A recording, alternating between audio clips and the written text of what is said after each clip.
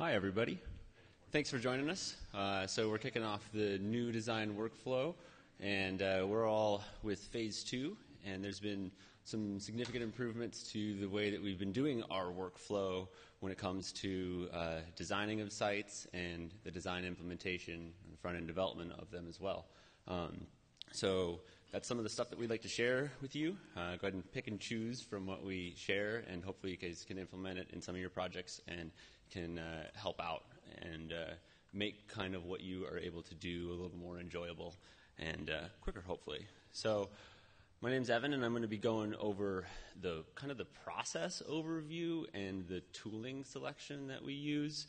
Um, and then both of these gentlemen are going to dive into more of the specifics. So we've got Joey, um, who's going to be talking a lot about the design process, and we got Micah, who's going to be talking a lot about the front end development process.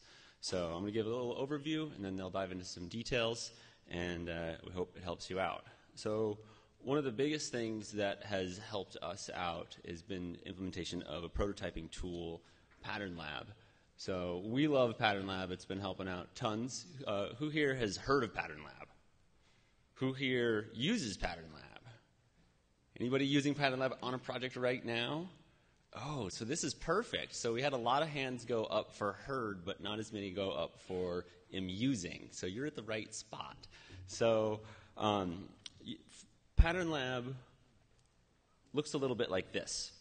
And there's a lot that it can do, and so you know it, it's definitely it's definitely a style guide, um, and it is definitely um, so it also is a prototyping tool and style guide together, basically. And by prototyping, I mean high fidelity HTML pages to be specific. So we're not we're not talking about gray boxes or wireframes. Um, this thing looks like the end product. So as if you right here we're kind of in the style guide portion, but you can go to fully full pages. So we've even been able to have this as a design deliverable that satisfies the client on the end, whether we're talking about design or front end development. So that's been a big win for us, um, and it's it's a big component inventory. Um, ma- major props to uh, Brad Frost and Dave Olsen. Oops, I killed some slides. Awesome. One second. My apologies. All right. Trying to get the speaker notes all, all, all, full screen. Anyway, so major props to Brad Frost and Dave Olsen uh, to be able to put this together. So it's an open source project that's out there, and that's all them. So um, yeah, it's great. So it's just the tool that we like, um, and I would say that most static site generators would do the trick. So whatever works for you, go with it. Um, if you don't have one you're using, this is a great one.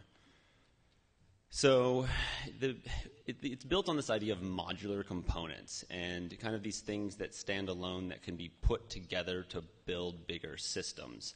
Um, the vocabulary that is uh, used here is based off of atomic design, which is you don't need to follow atomic design to use Pattern Lab, and you don't need to have Pattern Lab to use atomic design. The two do go very much hand in hand, though. So this vocabulary that's kind of biologically based, and it is using atoms, molecules, and organisms. And kind of the idea is that each go into the next. So we've got atoms, which are like our simple labels and just our individual text fields, all the kind of form elements, really. Uh, buttons, just a button by itself. Um, and then those atoms get combined together to make molecules. So that, a great example there would be a search field.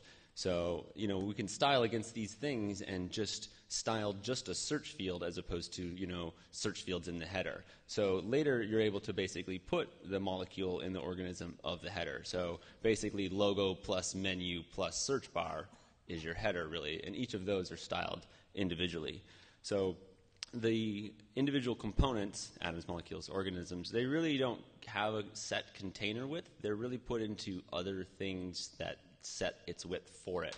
And this really helps out with modular design and uh, responsive and mobile. And it's a, it's a big benefit. So, um, kind of the way that things had been done before, really, is this linear process, very much waterfall development. I think that this is something that's you're pretty all, all, pretty familiar with, and I think everybody here is trying to get away from this. And the reason I bring it up is really that the issue here is that each step is a blocker, and we don't like blockers, right? So we want to be able to make sure that we're not holding up other steps of the process that could be done. Um, you know, I have prototyping in here. Not not everybody gets around to that. Um, some some do, and that that's awesome. But the, the, it's it's great that it's even there. But the problem with prototyping here is um, what usually ends up happening is it doesn't really get kept around at all. So a lot of work gets thrown into figuring out a lot of this responsive behavior and how things look in the medium things are destined for, and then it's tossed away because you know it's off to the CMS to actually build the thing that the client paid us to do. Um, so if you're going to throw it away, why keep it around? Um, it has a, a ton of benefits though, and so the way that we figured out to keep this benefit around is by just putting it in the Drupal. So we basically just set up our theme like this.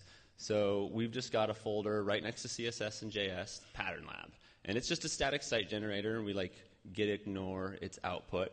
And we basically just uh, link the CSS and the JS to both Drupal and Pattern Lab. So really just in Pattern Lab's header, it's just like the link tag is like dot dot slash dot dot slash up and over and grabs the style sheet. So the thing that why this is super helpful is that you know you can go to your style guide and you can see a list of every form field, uh, select field, all that weird HTML5 text fields like the, the buttons, the secondary buttons, and you just see all those and you just style those. And then the next, then you just go over to the Drupal side and all your forms look good. So you don't have to really like hunt through Drupal and find a page that has the you know the form type that you're looking for. Um, so this is this is really nice, and you can bounce between the two since it's shared. Um, you know, one thing to highlight really is you know the generation of the HTML is left to the, the two uh, entities themselves, but CSS and JS is shared. So, and then this also the uh, pattern lab gets deployed to each environment as well, and this is super helpful because then we kind of have a style guide that represents you know what it looks like on staging and production and local. So um, that's incredibly helpful. So this kind of leads us to uh, just a parallel iterative process, basically. We can kind of get out of the way of each other and stop blocking each other. So, you know, we've had projects before where instead of having to wait for the entire backend environment to get set up so we have some HTML to even style, we were able to start months ahead and get going. And likewise, on another track, basically, backend is being able to work on a lot of functionality. Um, also, we just kind of have want to be able to have design in on this process and it's you see design it there, and it, that's okay for it to be, it, you know, static comps and assets. Like nothing wrong with Photoshop. There's nothing wrong with a comp. The problem is getting 30 comps like thrown on you. You know. So the idea is that as new comps are coming out, you can just iterate and, and pull them right into the, me- the medium that they're ultimately destined for. So, well, and this turns around and helps design out as well because design has a a, an asset library, basically. You know, they don't have to go hunt into previous PSDs that they made or whatever they're using to be able to find what the header was. This is how we get those like small deviations in margin and padding that are just a time suck for all of us and not what we really want to be doing. So this can help out the designers by providing an asset library. And additionally, backend developers get a huge benefit to this as well because they're able to, it's, it's a great reference, it's a living reference. Uh, so, say they need to implement a tab panel, they're able to go to the tab panel component page in Pattern Lab, and they just have to really be matching the markup and the classes. And, you know, it just clicks afterwards because the CSS and JS is shared. So, it helps out a lot of people. Um, project managers and stakeholders are, are also on this list. Uh, they kind of have an overview of of basically all the front end components that you know where they're at, how far they're along, uh, what everything's looking like, uh, without having to worry about like say the navigation isn't done in the Drupal site and you can't get to a certain page. Um, if you remember, that first slide had a nice drop down menu of all the components, so it's really easy to be able to get around. Um, definitely have seen people from a lot of different roles really appreciate this this process and this approach. You know, it's not just front end developers being like, yeah, we can work in a static site generator, um, although that is really fun. So, um, and there's lastly as well, there's uh, there's an objective shared vocabulary. So, I mean, who who has ever been in like a, a meeting where everybody's kind of is it the primary button? Is it the main button? Like, what really is a media block? So the thing that's nice here is that all of those components have a text label, and once you start to have like some vocabulary and almost a glossary that you can lean on, um, it, it helps out to be able to know that people aren't making assumptions of something that is just in people's heads. So um, we'd like to also share how we do things. So uh, Phase Two's put out our Pattern Lab starter out on GitHub, and uh, run these two lines, and you'll have a whole setup going just right away. Um, check out the link as well to kind of take a look at our code approach. So this, our Pattern Lab starter is a lot more than just Pattern Lab itself. So we definitely have like Grunt watching and compiling Pattern Lab and SCSS as well. Um, but you have the options to be able to use libsass, which is 10 times faster, or Ruby Compass if you'd like to. Uh, auto air auto air linting of the of just the last file saved for JavaScript, SCSS, and JSON. Um, entire icon system is in there as well, so you can just plop an SVG into a folder, and it turns it into um, font icons, and then it adds the mixin based on the file name to your SCSS. It creates an HTML class uh, to be used, again, based on the file name, and then it adds it to the Pattern Lab page uh, that lists all the icons. So by dropping an SVG in there, you've updated your style guide. Um, super helpful. Uh, we've kind of taken that approach with a few other things as well because, you know, style guides are only as good as they are up to date and current.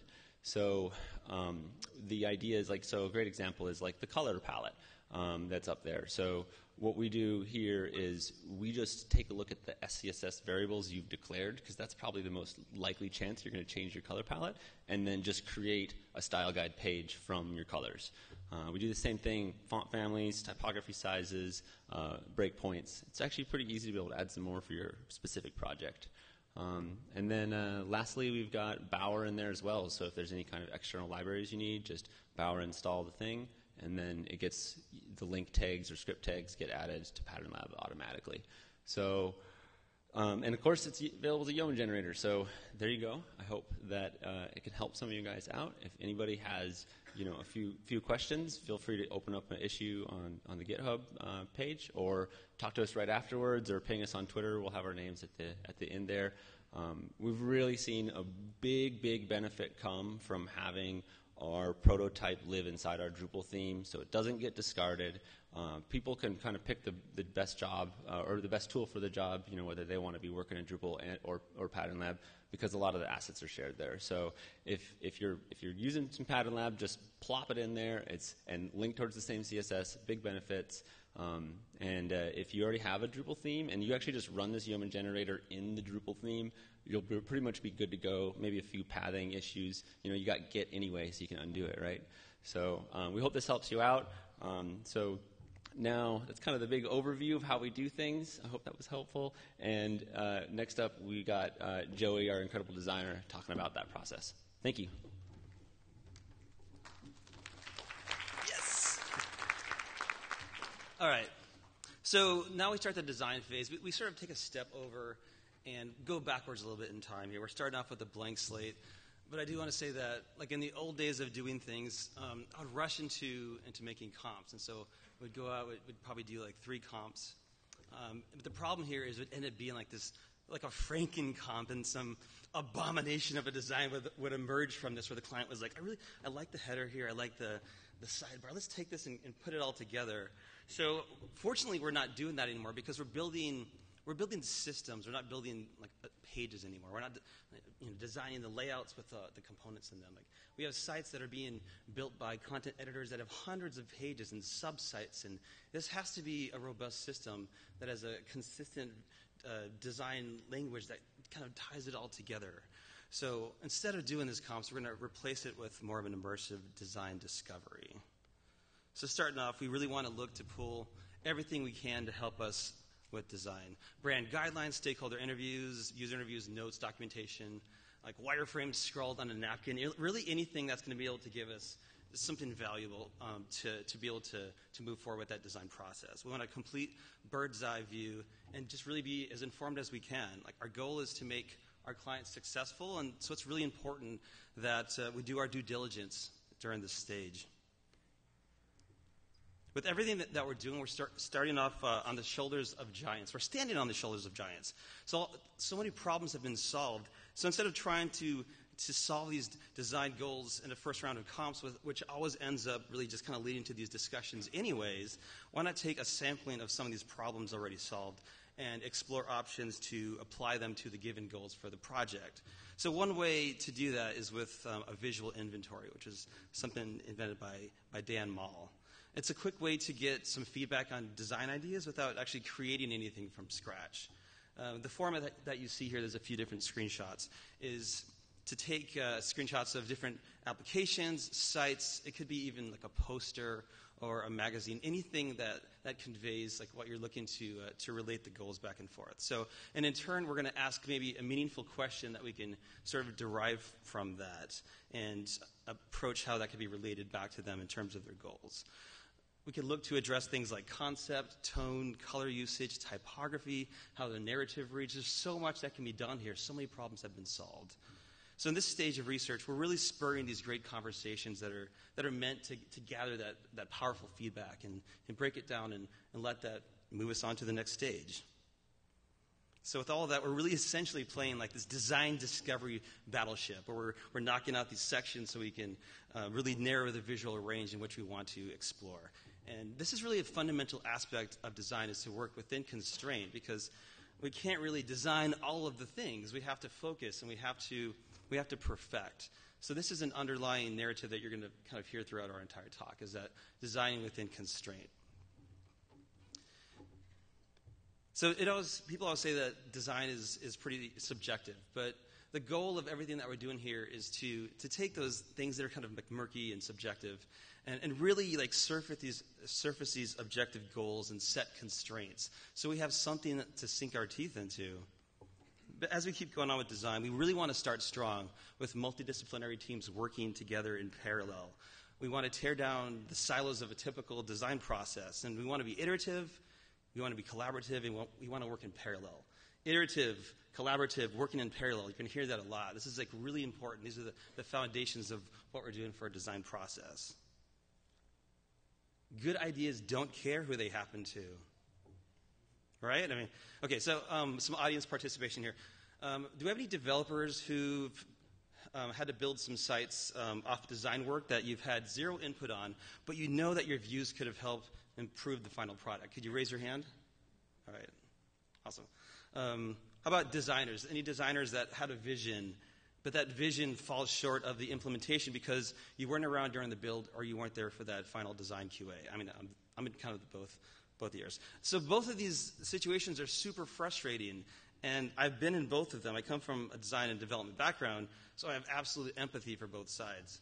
As a front end developer, I've caught design work that's been like thrown over the silo wall and have to address responsive problems uh, and responsive behavior during the build process. So it's like, how the hell is responsive design considered like not considered part of a typical design process? Like, why are it baffles me that agencies are still like outputting comps and comps of pages. This is what is going on here. We, we need to move forward with this. Like, the design process should not be completely limited to, to just designers. Like, we need to, to, to bring in these different perspectives. Because the success really of that final product really hinges on all these different varied perspectives. So I think we all agree with that, but we also need to have some kind of an avenue to move forward with that. And that is design thinking. I mean, it's essentially bringing together this hum, uh, desired human perspective with what is both economically viable and technologically feasible. So essentially, let people who aren't trained as designers um, use creative approaches to solve design problems or improve an experience. We're also striving to fit within the budget. I know the PMs love that. And consider the technical approach. Got to give some love to the devs there. To drill down a bit more, we can accomplish this through a collaborative design process. There's so much, so much to talk about. Like, we can't even like possibly begin to cover all this in you know the 10 minutes that I have here. So um, really look into some of this a- afterwards. But um, this is not designed by committee. This is These are sessions that are, that are neutrally facilitated with these clear exercises in mind that are structured to reach a specific outcome.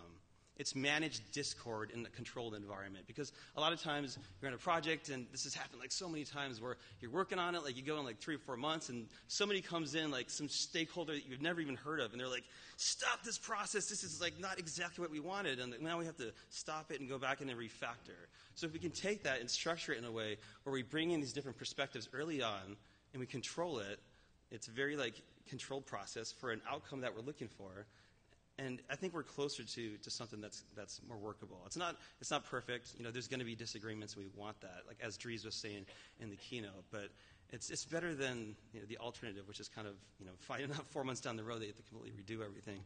Um, this is an example of something. It's something simple, just uh, like wireframing out the hierarchy of homepage components. Um, and I, there's a lot with co-design, but really working in, an environment where we're doing divergent to convergent thinking. We're going to hold off on um, and really given our feedback until like everybody's had a chance to speak. And we take this, we distill it down. Probably UX designer can take that and, uh, and compile it to the final form of what we're going for. In parallel with this, we're also working on some of the visual design starting to kick off.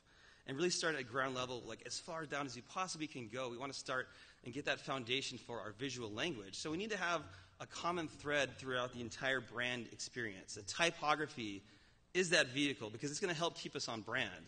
Um, this is an example of a website called Typecast. It's tools for kind of exploring some of the like typeface pairings. There's a bunch of cool templates you can play with, and this one's like kind of like a like a blog post or something. But it lets you go on there. You don't have to to buy them from here, and you can see what they look like. And I think things like Typekit and Fonts.com are in here. And once you find something that works, you can take that and maybe screenshot it and drop it into like a comp or, or show the client and do, do a bit more research here. But we do want to set the foundations because uh, typography is just, it's been around for like, you know, a long time, and it's like the basis for, for, for content and getting that out there. So at this point, we've also got some great objective design goals in mind that emerged from the great conversation that we had during our design discovery.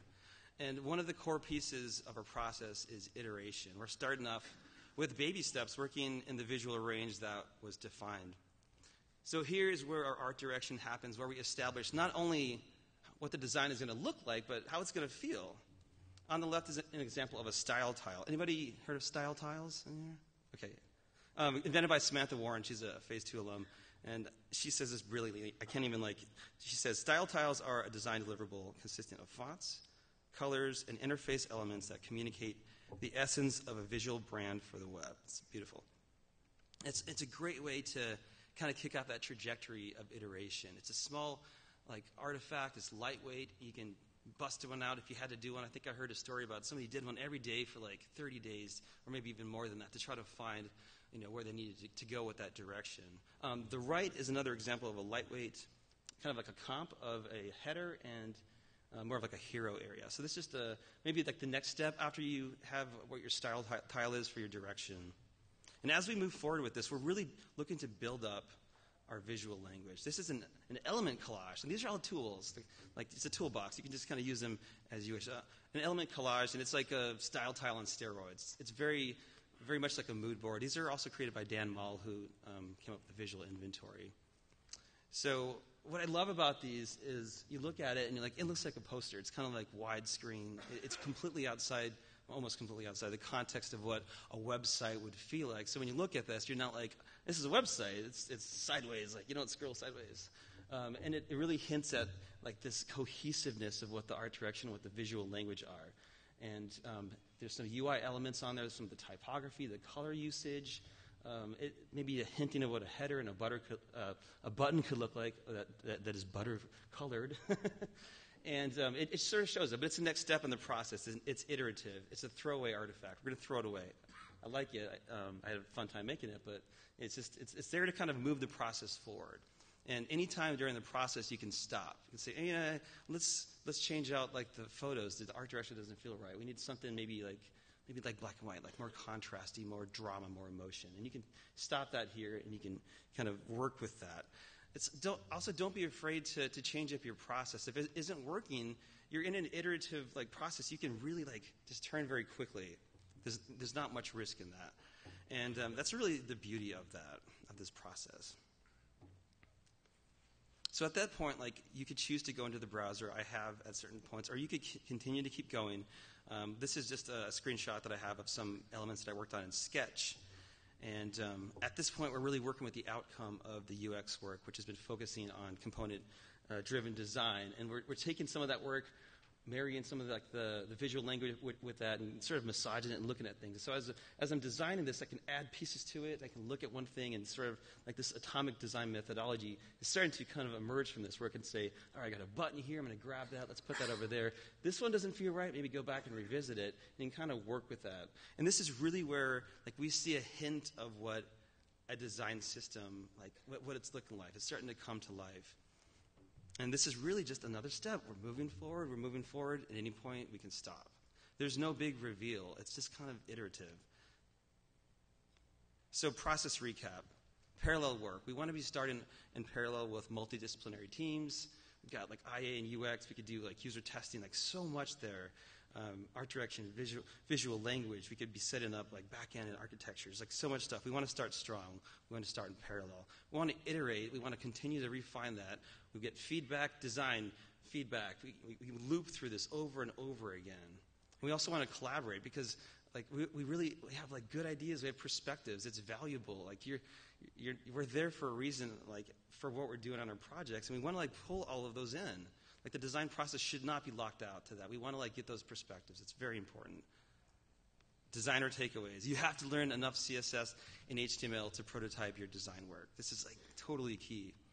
You don't have to write production quality. I mean, you, you can. We, we try to strive for that, but that's not really like what you're going for. Um, the really important thing is you want to control the design process like as much as you can, which includes responsive behavior. Like you can't just like make all these comps like desktop and and medium screen and and tablet, or, I mean, and, and, mobile, because it's there's so much that happens inside there. It's so organic. Without like actually designing all of that together, you're just like completely missing the mark, and you're like dropping like essentially your job in somebody else's lap, and the front end developer ends up doing your design work in the during the build of the process, and it's just so insanely frustrating to me. And I vowed that I would never make a developer have to to do that again. So. Um, yeah, and it's still okay to use Photoshop, still okay to use InDesign or whatever else, you know, Microsoft Paint. Um, these, these are artifacts that are meant to inform the prototype. They're meant to inform uh, the design system. Um, be available throughout the entire project. And I know that as a designer, we, it's not always up to us. It's up to maybe the engagement designer, or up to project managers. But um, this is something that is really important. We, we can start off strong on the project, but we need to be there to come in and to hit things that pop up. We need to be there especially at the end, to ensure this excellence through design QA. Like getting in there, and this is where getting your hands dirty with some HTML and CSS is good because you know launches are, are tight and this, things are moving very quickly. So as a designer, if we can get in there, pull down a Git repo, just do some quick like CSS adjustments to move things to where they need to be, so we can sleep at night, then you know that's like that's what has to happen to make these projects a full success. So back to the iterative design process we've been building the visual language and kind of establishing it and building it up and starting to see what a design system looks like. So the next step at this point is to get to the browser. And with that, I'll, I'll pass the mic to Micah Godbolt, who's going to talk about design systems and front end architecture. Thank you, Joey.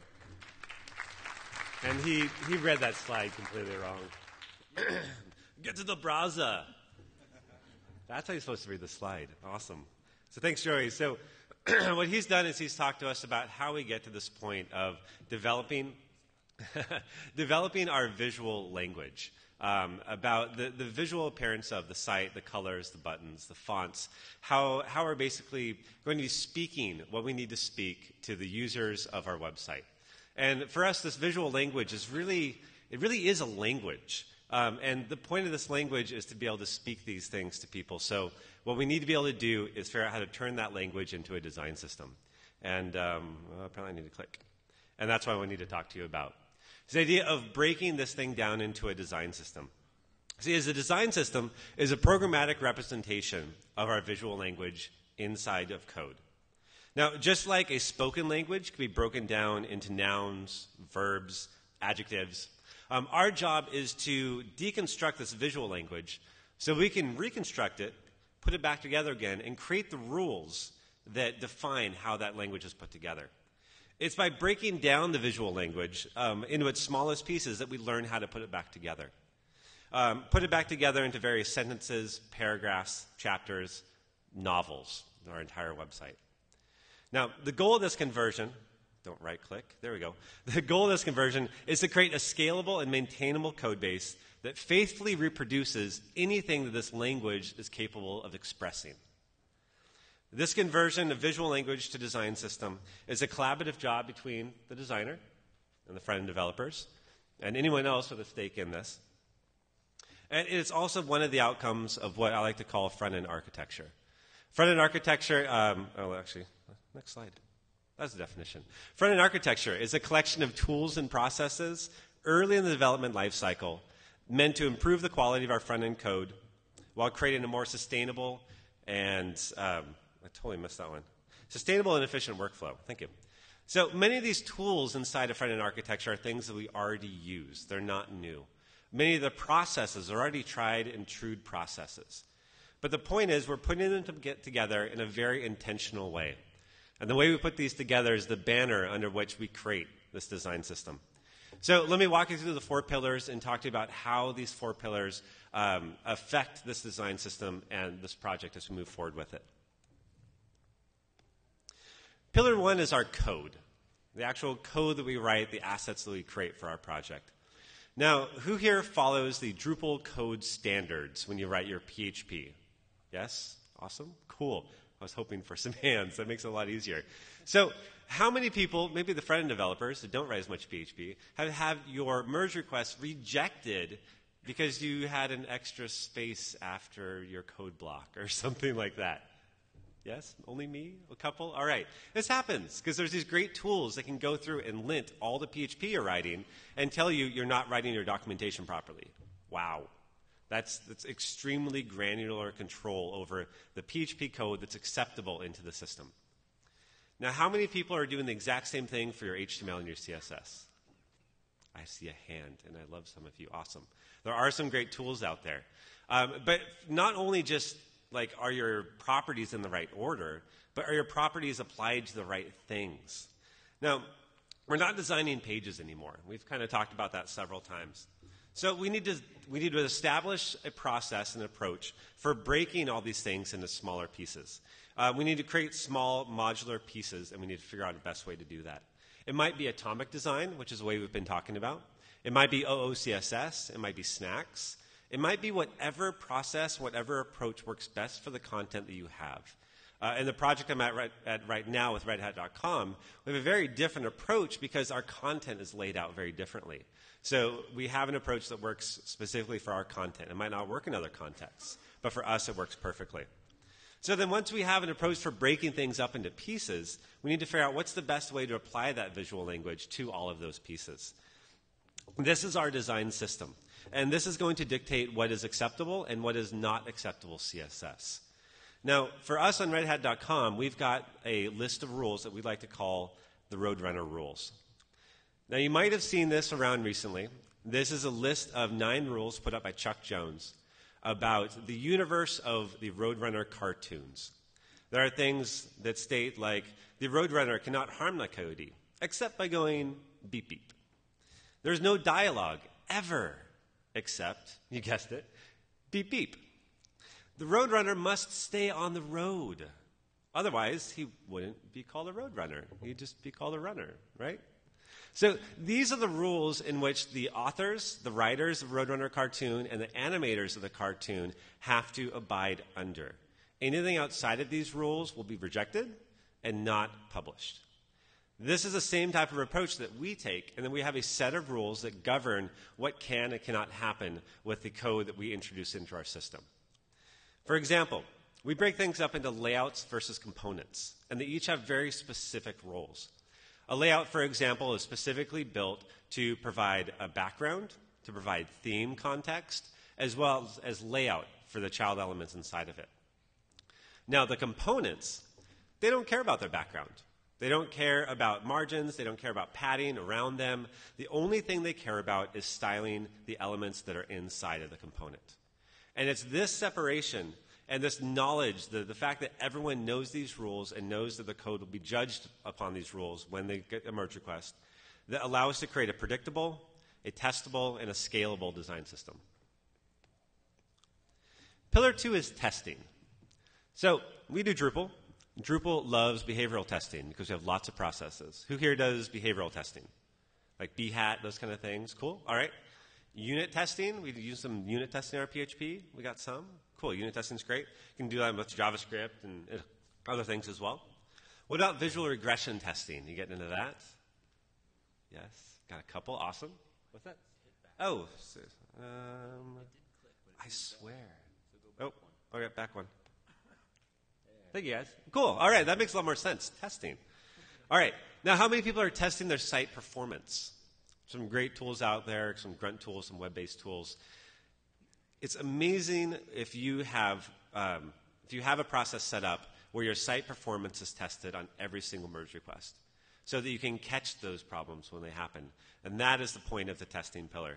See, testing shouldn't be an afterthought. It's not a nice to have. Testing is checking the foundation of our building before we build another story on top of it. And that's not something that's optional. Testing allows us to know that that foundation is set and is settled, and that nothing we do up here is going to, uh, to invalidate it.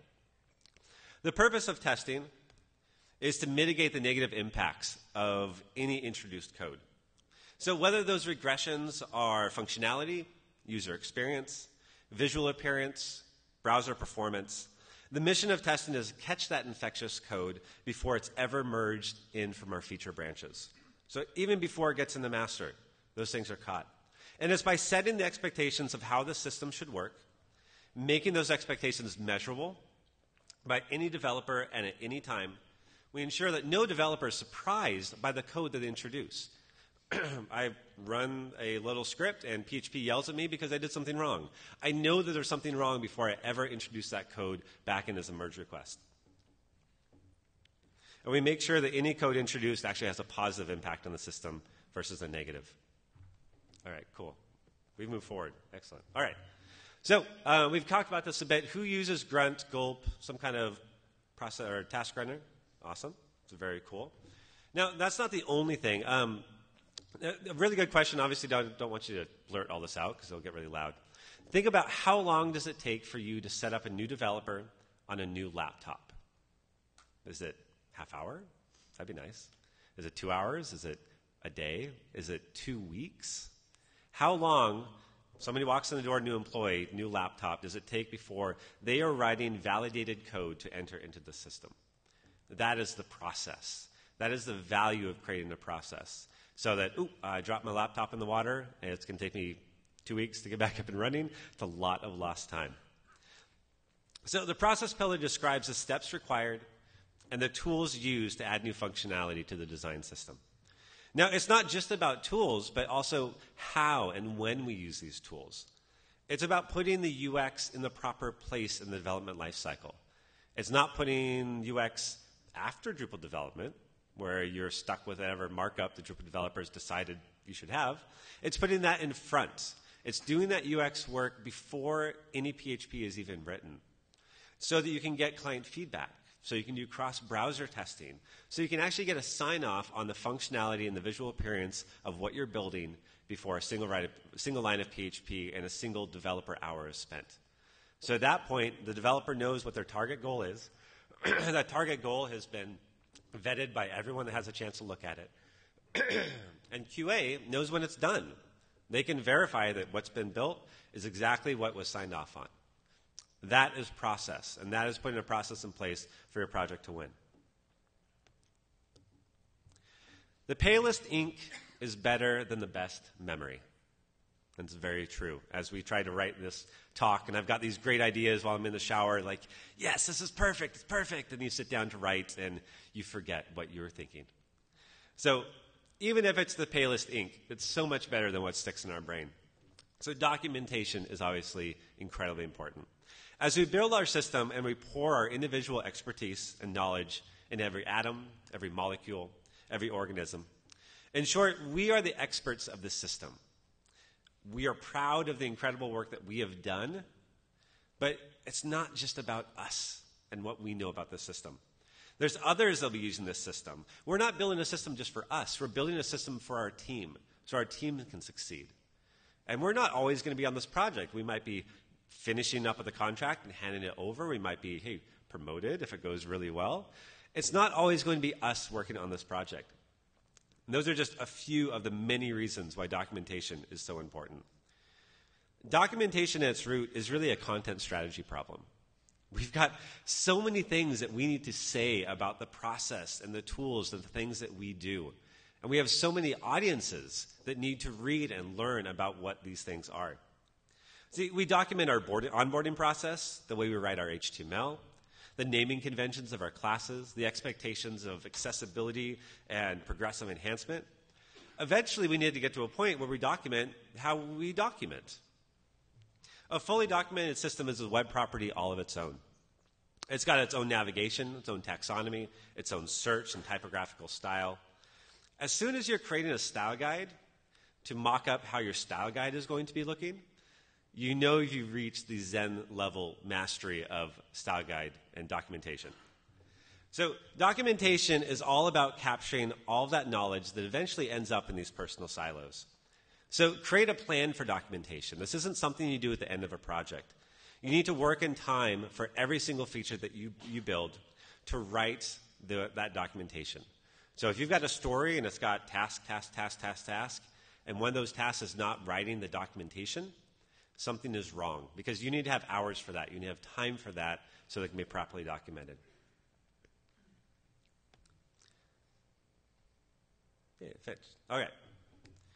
Leonardo da Vinci once said, A website is never finished, it is only abandoned. Now, it's true that our work is really never done. There's always going to be something else that we need to do. But there's one magical, yet mythical point where our design system is capable of expressing or of, capable of creating everything that our visual language is capable of expressing. Now, think about this utopia for a little bit. You walk into work on Monday, and you're handed this task to go and create a new node type, new content type. So, instead of going and creating a whole bunch new CSS, a whole bunch more JavaScript to build this big, huge page out. Instead, you crack open Pattern Lab, you build up a new page, you pull together all of your existing atoms, molecules, organisms, templates, pull all these together and create everything required for this node page to be able to be represented. We have a design system capable of representing everything this visual language can do. So in the end, your work's already done.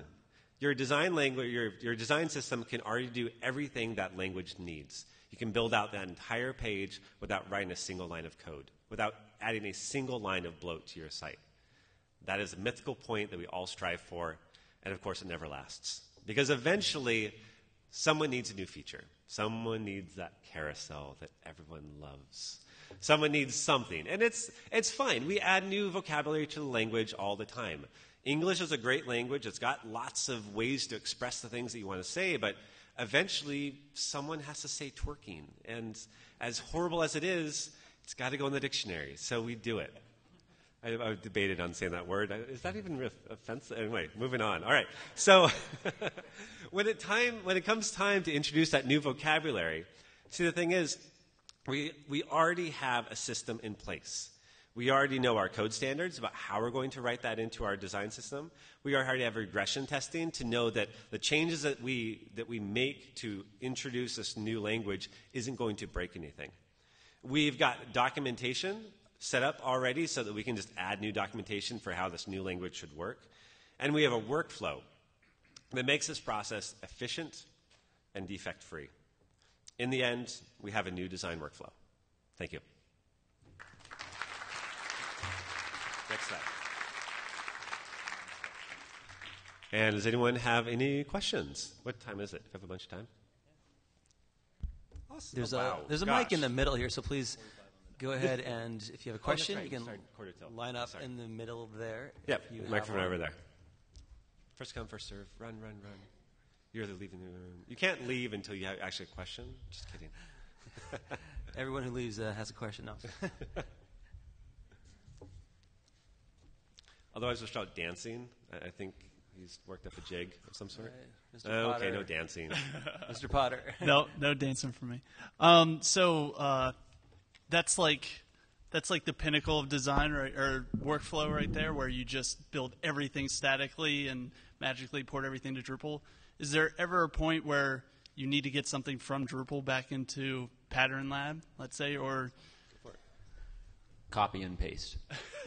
so, so take yeah. So I mean, it, it you know it depends on the, how much time you've got. So if you basically just need to kind of hurry up, there's no problem with really just going over to Drupal, inspect element, right click on it, copy, pull it over to Pattern Lab, paste it in there, and start working on it. Um, obviously, if you have a little bit of more time and it's a more complicated thing, you can see that there's already kind of some subcomponents in there. Those can be broken out pretty easily. Um, so that works out pretty good for, for us. So Yep. don't ever hesitate to do that. Always take the simplest path. So thanks for sharing. Um, in all of this process, in the design and, and bringing back, bringing those things together, is there a moment where maybe uh, for, I can understand in like larger sites it becomes really daunting, but involving the content strategy team and kind of figuring out things like lengths and is there something in the documentation that incorporates that, or is there some thinking you've done about this problem? Because we've had that at times where we're like developing a thing, we've got the style guide, we've got the prototype, we're working, but involving the content management, te- uh, the, the sort of more content strategy side of things, figuring out voice and like being able to f- show the client some of the work ongoing, have an idea of how the content fits into all of this. Uh, it's sort of like seems like the next big step in all of this, and I was wondering if you guys had any thoughts about Yeah, it. sure. Yeah, I mean, one thing great about documentation is it is what you make it. I mean, just like Drupal is a platform you build a website on top of. I mean, documentation, there's, there's no one way to do documentation. Um, we use a system called uh, Hologram that allows us to write, um, write our documentation right inside of all the rest of our files, right inside of basically Markdown, inside of some comments. And really what that allows us to do is create anything that we need to create. Um, so we have documentation on um, on our fonts and on the different colors and how you create new Git tags and how you push up releases. And we, we can document all of our process, but we can also document other parts of it. Uh, you can document, you know, what's an acceptable photo? What, what is good copy? You know, what, what are our copy lengths, like, you know, a long and a medium and short copy lengths? We can get all that into documentation because we have this whole idea of we've got navigation, that we can have different sections, we have taxonomies for our different pages, we have search, so you can go in and search for the different topics that someone needs to hear about. And, and the point of this documentation style guide is it's always accessible to, to anyone that needs to get to it. So your audience, we find that our audience is, is, there's not just developers, it's not just front end, not just back end, but it's also uh, the business owners and the product owners and the content creation team that they can all go in there and have one place to find that information. So whether you need to mock something up with some fake content to show like you know what our our our, vo- or our, our you know our vocal style is, whatever that word is, um, to- tone, vocal tone, no. Anyway, um, you can you can actually put examples in your style guide that demonstrates those. So uh, make the documentation what you need to be to demonstrate everything about your, your website. Can you talk a little bit about? Um, you had mentioned in the beginning, it sounded like you pulled some CSS down from Pattern Lab and dropped that directly into the Drupal theme. Can you talk a little bit about that and what uh, Pattern Lab outputs and how you pull that in and how you use that?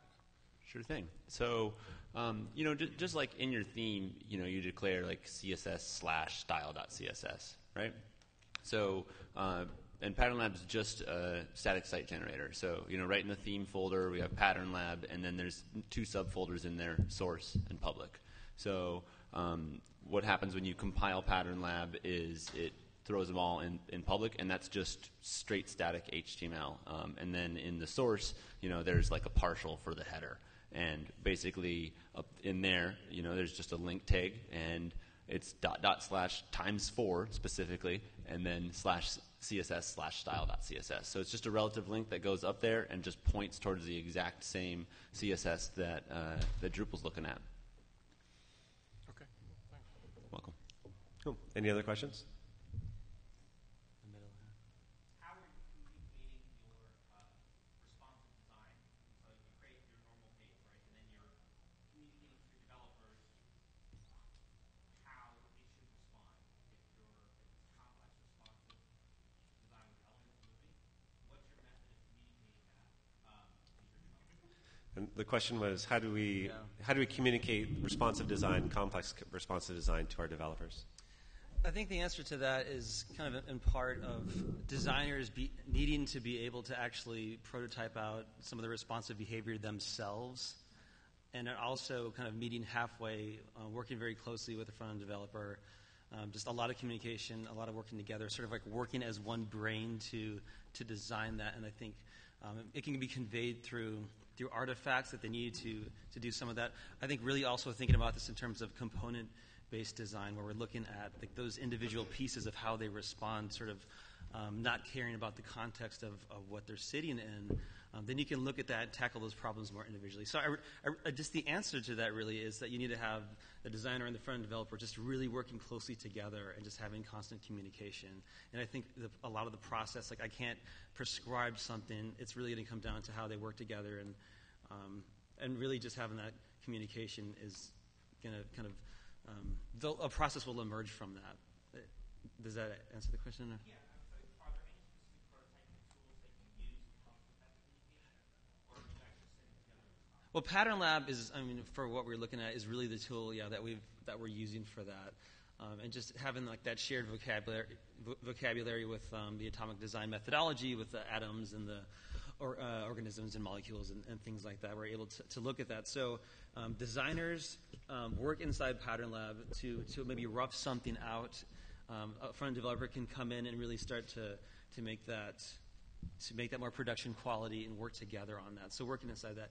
And it doesn't have to be, I mean, Pattern Lab is a tool. We, we really prefer to talk more about um, like the methodology, but that's, I mean, we're really using that for so many projects and it's a common vehicle. We're even starting to do uh, more of the workflows for, for our UX and um, we can do like work in there with content design and, and get uh, work through IA. And so it's really, it's a great tool to be able to have multidisciplinary teams working in there in kind of different pieces. And one other thing to note is holog- or hologram, sorry, uh, Pattern Lab isn't just the small pieces. You also have the ability to create um, templates and also pages. So you can mock up entire pages in Pattern Lab. It's not just the tiny pieces. So it gives you the opportunity to say, like, what is this complex responsive layout actually going to look like in the browser using all the pieces that are built in Pattern Lab. So it gives you that flexibility to pretty much build out your entire site within Pattern Lab if you wanted to. So, um, whenever you're building in Pattern Lab, you build these components. Have you ever um, played with adding uh, element queries to these components? Like, and do you Yes. have any libraries that you Are use? you go for it? Yeah. Okay. Um, yeah, so would love, would eagerly, eagerly love some native support on that. But uh, I, on a previous project, we've just used some JS libraries that hook onto data attributes. Um, and I mean, you, you, you nailed it right there because it's pretty tough to be able to write modular code. You know, you- you're thinking about just this block, but you have to write a media query based on the width of the page. So therefore, we've you know kind of contradicted ourselves. Like now, suddenly this like little component is aware of the con- of its context, and that's against the rules, the Roadrunner rules. Um, but so element queries would just be like totally nail it. Um, so that'd be really nice. Uh, so I get, it's it's kind of a combination of both. Is like yeah, sometimes uh, some just classic media queries just kind of get written in there, you know, because we kind of know where it's going to be, and there's going to be you know some tweaking. That's why iteration is super important. Um, but there's also some JS libraries uh, for uh, pulling in some element queries. So that would be that'd be a good tool to be able to use. Yes. It's we're using it in It's production. used in production. Yeah, Yeah. there's. There's uh, there's big sites that I cannot name. I'm sorry, but um, but that are that are I, I've, seen, I've seen large news organizations. I don't know if Yeah. it was like, like It's enterprise. so yeah, it's very out much there. enterprise tested. Yeah. Um, the one by Sam Richard, I know he's done it to like, if you had 10,000 instances on a page of it, it'd be like this tiny minor uh, performance hit. And typically you do maybe a couple dozen at the most. So, you know, as long as you're smart about it. And really, like, we started introducing them and we found out we really didn't use a ton because we don't, we didn't have a lot of needs to like change layout of stuff because stuff was usually pretty much a stack. But anyway, uh, it's, it's a great tool to have in your, in your basket when you need it. Uh, Yeah. And it changes a lot. I would definitely say use a standard media query first if that does the trick. Yeah, well, if you know the thing's going to always be 100% wet. Cool. Any other questions? Song requests? No. Awesome. Well, yeah, I don't know. I think the I think it went off. And we'll be at the Phase2 booth. Um, be hanging out there if you guys do want to come by and just talk or ask any questions or whatever. Well, thank Yeah, you. Thank you.